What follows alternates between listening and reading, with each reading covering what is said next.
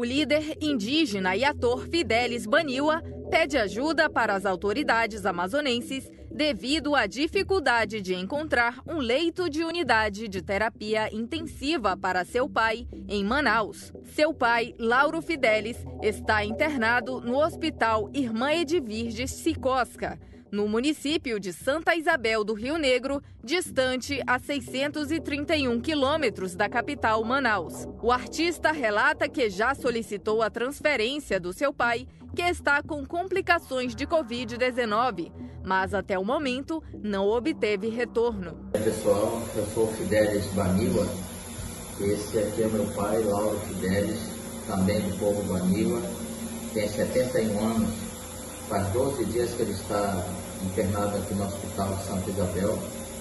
Tudo que foi possível ser feito já foi feito aqui no hospital, mas o quadro dele tem melhorado muito pouco e nos últimos três dias tem caído bastante a saturação dele.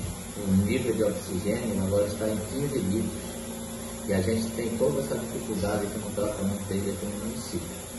Esses últimos 12 dias também, em média, uma pessoa morreu aqui no nosso município, né? incluindo familiares e tudo mais.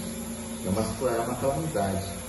A gente tem buscado nos últimos três dias um leito para ele em Manaus, nós não temos conseguido, porque os leitos é, dizem que não tem leito em Manaus. Então a gente está enfrentando essa dificuldade para que a gente não tenha mais uma pessoa para entrar na lista dessa triste estatística de mortes pela Covid-19. Estamos fazendo um apelo a você que possa nos ajudar. Vamos acionar o Ministério Público para que ele possa intervir nessa questão. Então é isso. Essa é a situação. Isso aqui é só porque o caso do meu pai, mas tem outros casos também graves aqui no, no município. O município conta com pouco mais de 25 mil habitantes e é mais um dos 62 do estado sem estrutura para acolher quem estiver infectado pelo vírus da Covid-19 e precisa que pacientes sejam transferidos para a capital Manaus ou para outros estados. O município já registra 37 óbitos pela doença e 2.602 casos confirmados.